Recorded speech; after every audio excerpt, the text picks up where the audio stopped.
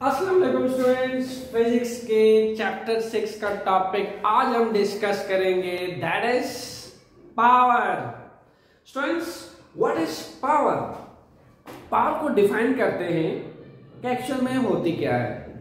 Power is defined is the rate जब भी हम फिजिक्स की लैंग्वेज में रेट का वर्ड यूज़ करें अगर वो किसी भी चीज़ के लिहाज से हो डिस्टेंस के लिहाज से हो डिस्प्लेसमेंट के लिहाज से हो वर्क डन के लिहाज से हो तो हम हमारा मतलब ये होता है कि उस चीज़ को टाइम के साथ देखना टाइम टेकन के हिसाब से देखना डिस्टेंस को टाइम के लिहाज से देखना रेट ऑफ़ डिस्टेंस डिस्प्लेसमेंट को टाइम टेकन के हिसाब से देखना रेट ऑफ़ डिस्प्लेसमेंट और वर्क डन को टाइम के लिहाज से देखना दैट इज़ पावर जब तुम डिस्टेंस को टाइम के हिसाब से देखते थे तो क्या था? स्पीड जब तुम डिस्प्लेसमेंट को टाइम के हिसाब से देखते थे तो क्या था?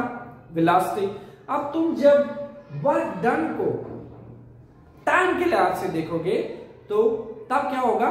पावर अच्छा अब हम रेट का वर्ड जब भी कहीं में भी यूज़ करते हैं तो हमारा मतलब ये होता है कि उस चीज़ को होने के लिए जो टाइम दरकार होता है उसके लिए हम कहते हैं रेट अब यहाँ हमारा रेट ऑफ़ डूइंग वर्क से क्या मुराद है? अब एक काम या कोई टास्क जो है वो कितने टाइम में रिक्वायर्ड है उसको होने के लिए?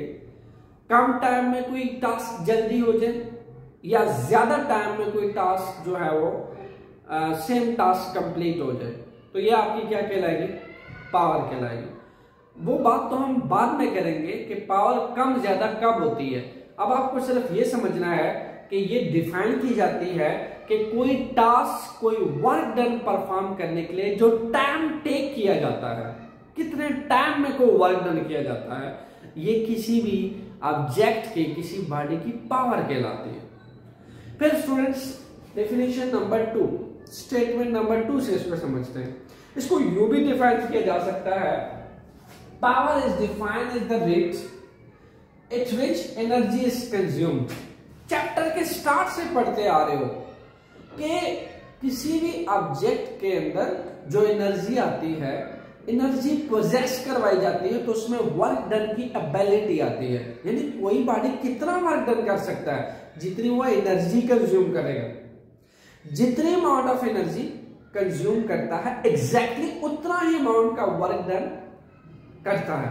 क्लियर यानी मैं फिर यू भी कह सकता हूँ कि ये वो टाइम है, यानी कोई बॉडी का वो टाइम टेकन है जो उसको दरकार है कि वो कितनी एनर्जी कितने टाइम में, कितने वक्त में कंज्यूम करता है। अब जो टाइम लेगा, वो कितनी एनर्जी एक स्पेसिफिक टाइम में वो कितनी एनर्जी कंज्यूम करेगा, वो उसकी पावर कहलाएगा अब वर्क डन और एनर्जी इसको आप अगर लिंक करते हो तो क्या मतलब है इसका? कि कोई बॉडी कितने टाइम में कितना वर्क डन करता है, ये उसकी पावर है।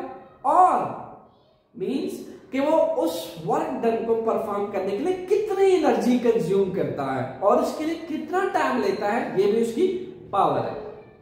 स्टूडेंट्स इन दोनों को स्टेटमेंट्स को जरा अलग अलग हम फार्मूला की शेप देते हैं ओके ताकि पावर को मजीद समझा जा सके। सो पावर अगर मैं इस फॉर्मूला के तहत देखूँ तो इस defined is rate of doing work doing work या work done work done divided by time taken किसी भी काम को करने के लिए, किसी भी काम को करने के लिए हमारे पास वर्क डन करने के लिए जो टाइम टेकन रिक्वायर्ड होता है, कितने टाइम में कोई वर्क डन किया जाता है, ये उसकी पावर कहलाती है।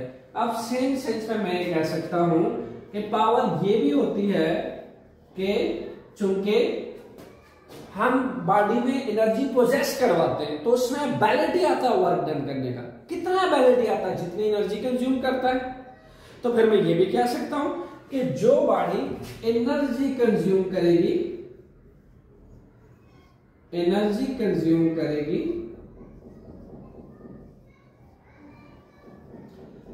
कितने टाइम में डिवाइडेड बाई टाइम टेकन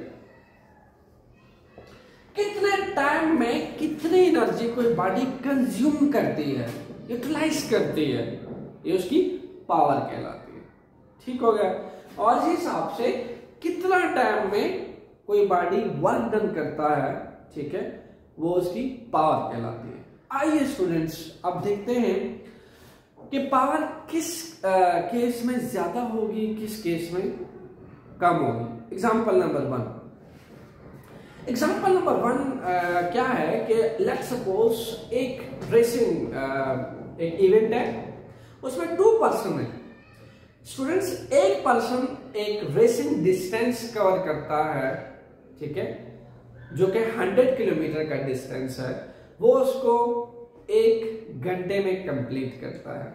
इसको जरा रिटर्न शेप दे देते हैं ताकि आपको समझने में आसानी हो। पर्सन ए जो है, वो स्टूडेंट्स 100 किलोमीटर का फासला सपोज़ कंप्लीट करता है टाइम टेकन लेता है one hour and the person B students same distance same he distance 35 minute में कंप्लीट करता है। अब टास्क ऑल्दो सेम है डिस्टेंस सेम है 100 किलोमीटर 100 किलोमीटर सवाल ये पैदा होता है पावर किसकी ज़्यादा है? पर्सन बी ने सेम फासला कम वक्त में कंप्लीट किया। मतलब उसने सेम फासला के लिए ज़्यादा एनर्जी कंज्यूम की।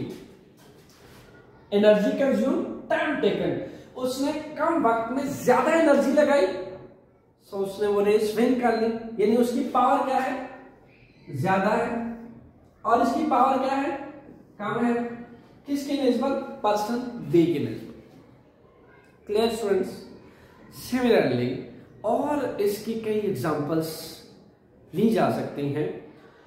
जैसा कि आपने कोई टास्क दिया, ठीक है? कोई भी टास्क दिया अगेन टू पर्सन आपने यहाँ लिए। Person A person B students task same है। टास्क जो है that is same for person A and person B task हमने नहीं बदला हमने देखा कि अब की बात पर्सन ए जो है, वो सेम टास्क जो ए और बी को असाइन किया गया है वो सेम टास्क कम वक्त में कंप्लीट करता है। यानी वो कम टाइम लेता है। जब आप ये बोलते हो कि वो बॉडी कम टाइम लेता है तो उसका मतलब है वो ज़्यादा एनर्जी कंज्यूम करता है। अपनी ज़्यादा पावर लगाता है। उसकी पावर ज़्यादा है। समझ रहे हो? कि आप जब ये कहते हो कि उसने कम टाइम में अपना सेम टास्क कंप्लीट किया और उसने सेम टाइम में ज़्यादा वक्त में सेम टास्क कंप्लीट किया। इस बात से आपकी क्या मुराद है? इस बात से हमारी ये मुराद होती है कि उसने कम टाइम में सेम टास्क कंप्लीट किया, यानी उसने कम टाइम लेके ज़्यादा एनर्जी कंज्यूम की, ज़्यादा पावर लगाई। ज़्यादा वर्क डन किया और ज़्यादा वर्क डन करने के लिए ओबियसली स्टूडेंट्स उसमें ज़्यादा एनर्जी पोजेस हुई। उसने ज़्यादा एनर्जी कंज्यूम कर ली। नंबर एक। नंबर दो, अब इसने ज़्यादा टाइम लिया सेम टास्क करने के लिए।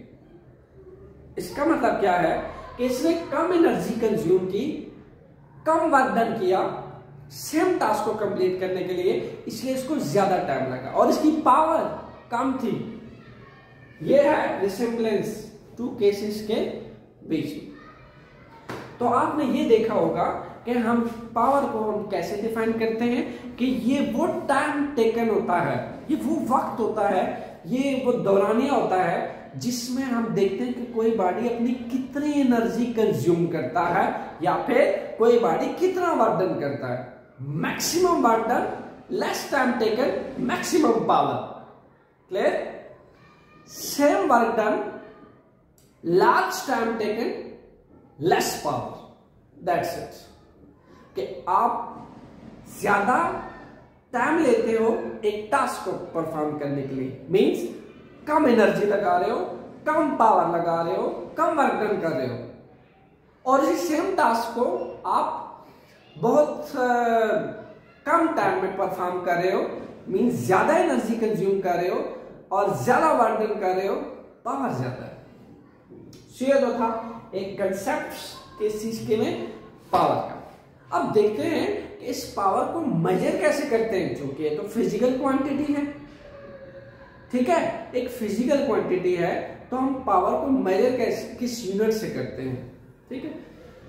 इसकी जो यूनिट है स्टूडेंट्स वो हम रिप्रेजेंट करते हैं वाट से।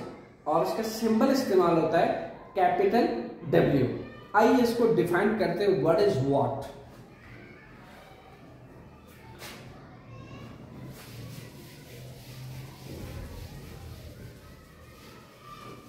what is what? So students, power को हमने देखा कि ये बराबर है वर्क डन जो किसी बॉडी पे किया जाता है और उस वर्क डन के लिए जो टाइम लेता है टाइम टेक टेक करता है वो हमारे पास पावर के लाती है। अब वर्क डन जो है, वो क्या है? Ability of a body to do work यानी वो एक एनर्जी है। ठीक है? वर्क डन करने के लिए बॉडी में एनर्जी होनी चाहिए। तो आप उसको किसमें मेजर करते हो? जूल में? जूल में इसी हिसाब से जो टाइम वो लेता है, उसका यूनिट क्या है? सेकंड क्लियर सेकंड तो स्टूडेंट्स हम ये कह सकते हैं कि पावर क्या है? जो किसी बॉडी पे अगर वन जोल का बर्डन लगा दिया जाए वन जॉल की एनर्जी उस बॉडी में पोजेस करवाई जाए वन जॉल का वर्डन करने के लिए। और वन जॉल की एनर्जी पोजेसिंग से वो वन जॉल का वर्डन लिए और ए, ये काम परफॉर्म करने के लिए वो टाइम ले ले कितना? एक सेकंड का। एक सेकंड का। वो क्या कहलाएगी उसकी? पावर। क्लियर वो किस चीज़ के बराबर होगी? वन वाट के। क्योंकि पावर को आप जो ऐसा यूनिट असाइन करते हो दैट इज़ वाट तो हम क्या कह सकते हैं? वन वाट किसके बराबर है? अब ये पूरा का पूरा बराबर है वाट के students W A double D और इसको हम कैपिटल डब्ल्यू से प्रेजेंट करते हैं। Watt is equal to what is equal to कि कोई बॉडी को अगर वन जॉल का वर्क डन करने के लिए उसमें वन जॉल की एनर्जी पोजेस कराओ, ताकि वो वन जॉल का वर्क डन कर सके, और इसके लिए अगर वो एक सेकंड का टाइम ले that is equal to one joule per second one watt is equal to one joule per second okay तो अगर आपसे कोई पूछे कि व्हाट इज़ वन वॉट बहुत सिंपल है।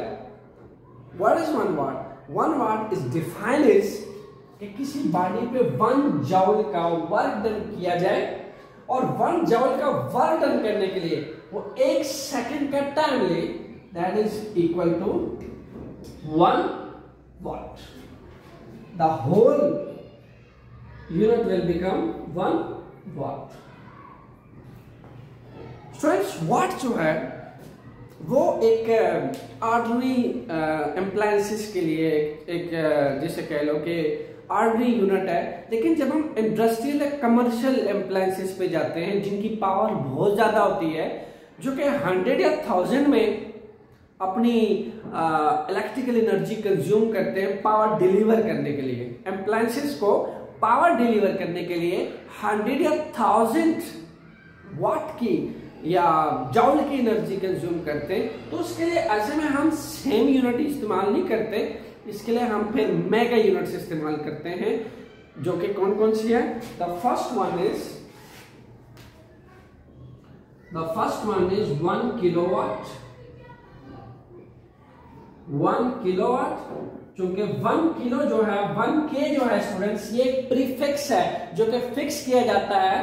Prefix are what that are placed are fixed before SI unit clear अब watt तो एक ऐसा यूनिट है। अब वन के किसके बराबर है स्टूडेंट्स वन के बराबर होता है टेन टू पावर थ्री के अब टेन टू पावर थ्री बजाते खुद किसके बराबर है? वन थाउज़ेंड के तो ये सारी चीज़ें। अब इसको मैंने लिख दिया साइंटिफिक नोटेशन में।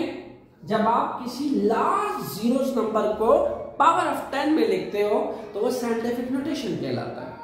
अब साइंटिफिक नोटेशंस का मसला, हम मजीद आसान करते हैं अपने लिए प्रीफिक्स से। एक वर्ड या लेटर फिक्स करते हैं ऐसा यूनिट से पहले। इस ऐसा यूनिट से पहले एक वर्ड या लेटर जो है वो फिक्स करते हैं।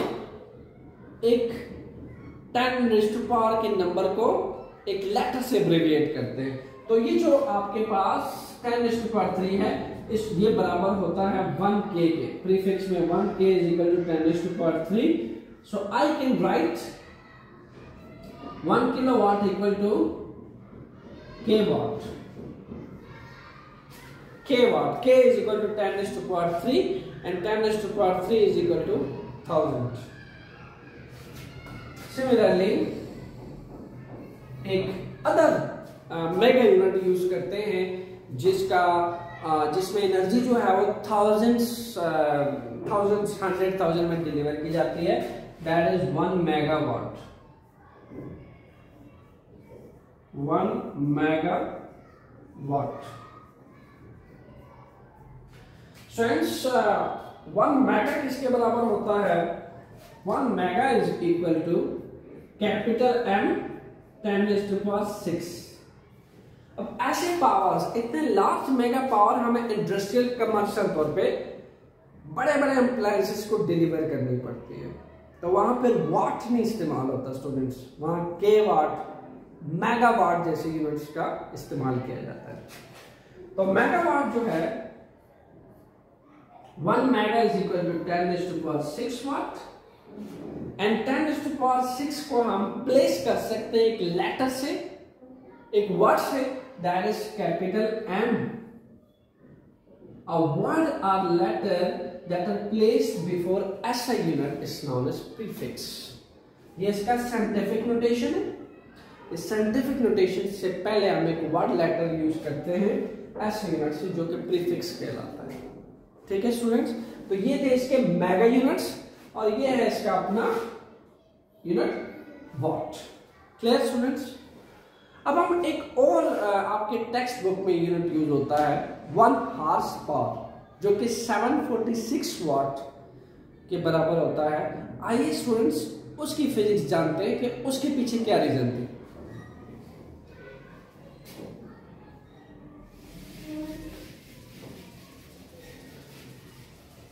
स्टूडेंट्स वन हार्स पावर को आपके टेक्स्ट बुक में लिखा जाता है। कि बराबर होती है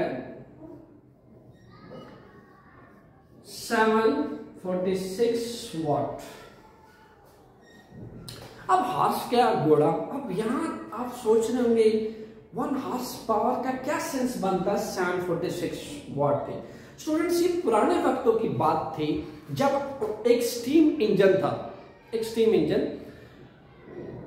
उस स्टीम इंजन की जो पावर थी वो थी 746 वॉट वो एक सेकंड के अंदर 746 वाट का मतलब क्या है स्टूडेंट्स 746 का वाट का मतलब ये कि वो 746 वाट की एनर्जी कंज्यूम करता था कितने सेकंड में? एक सेकंड अब ऐसा किया गया कि इसी स्टीम इंजन को पुराने वक्तों में एक घोड़े से रिप्लेस कर दिया गया। स्टीम इंजन को हटा दिया गया। उसको हटा के एक हॉर्स एक घोड़ा रख दिया गया। क्लियर और उस स्टीम इंजन की जो फंक्शनिंग थी सेम उस घोड़े के साथ भी यही फंक्शनिंग रखी गई सारी।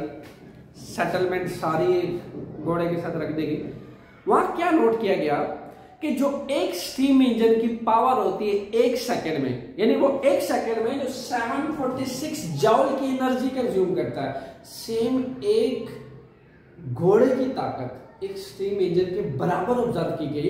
यानी देखा गया कि एक हॉर्स की जो पावर थी, वो एक सेकंड में सेम 746 जाउल की थी।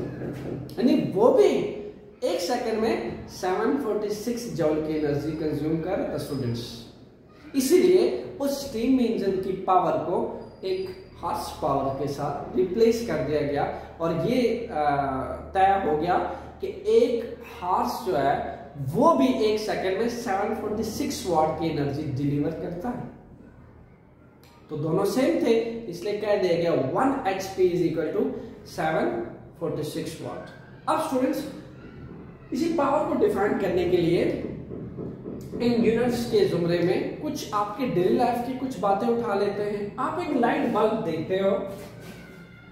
एक लाइट बल्ब जो कि जल रहा होता है। उसके ऊपर कुछ बल्ब होते हैं जिनके ऊपर लिखा होता है हंड्रेड वाट। कुछ होते हैं जिनके ऊपर लिखा होता है फिफ्टी वाट। ओके? स्टूडेंट्स ये तो है इलेक्ट्रिकल इम्प्लायंसेस अब इस इलेक्ट्रिकल इम्प्लायंसेस में 100 वाट और 50 वाट का क्या मतलब है? The answer is so simple 100 watt का मतलब क्या है? कि ये बल्ब हैवी क्यों है? बल्ब ए जो है, वो बल्ब बी से जो है, वो हैवी क्यों है? क्योंकि स्टूडेंट्स ये एक सेकेंड में 100 जॉल की इलेक्ट्रिकल एनर्जी कंज्यूम करता है। एक सेकेंड में 100 जॉल की इलेक्ट्रिकल एनर्जी कंज्यूम करता है। सिमिलरली अगर आप 50 वाट के लिए इसको रिप्लेस करो तो 50 वाट के केस में ये 50 जॉल की इलेक्ट्रिकल एनर्जी कंज्यूम करता है। तो ये एक सेकेंड में ज़्यादा एनर्जी कंज्यूम करता मीन ज़्यादा पावर लगाता है।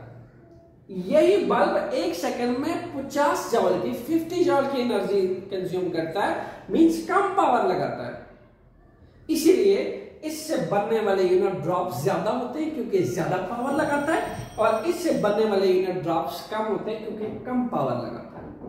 तो 100 वाट 10 वाट 20 वाट 30 वाट सबका सेम मतलब है स्टूडेंट्स कि वो उतने जूल की एनर्जी कंज्यूम करते हैं। एक सेकेंड इसलिए जितना वाट इंक्रीज होता चला जाता है, जितनी पावर रेटिंग इंक्रीज होती चली जाती है, उसी हिसाब से पावर का एनर्जी डिलीवर पर सेकेंड या पर यूनिट टाइम में ज़्यादा होती चली जाती है।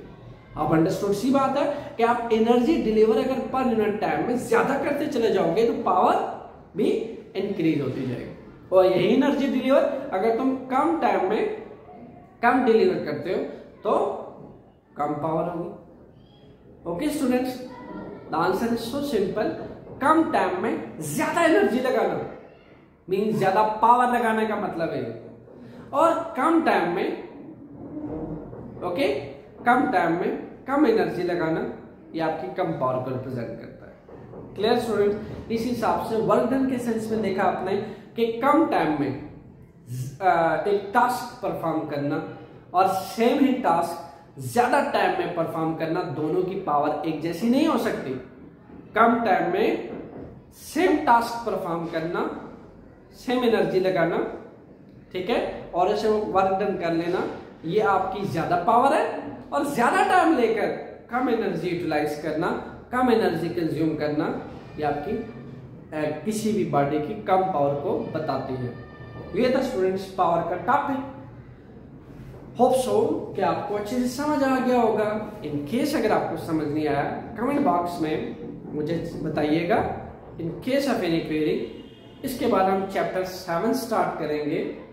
इंजॉय करते हैं फिजिक्स कंसेप्शन फिजिक्स लेक्चर्स के साथ। Thank you